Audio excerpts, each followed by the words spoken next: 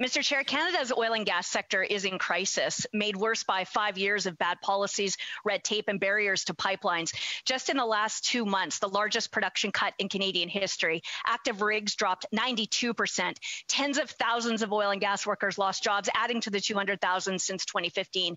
Energy is Canada's biggest investor and exporting can lead the recovery if there's actions, not just words. On March 25th, the finance minister promised help in quote hours or days, not weeks, but he's letting Canadians down. 63 days later, small oil and gas companies still can't apply for BDC loans. And last week's large employer loan terms are predatory, escalating interest rates of 14% by year five. That's payday loan rates. The required stock options at record lows could make the government the largest shareholder. That's not emergency assistance, it's pandemic profiteering. Programs can't help workers if businesses can't or won't actually get the support. These liberals' death by delay tactics are doing exactly what foreign activists in other countries want shutting down Canada's oil. Maintenant, Madame.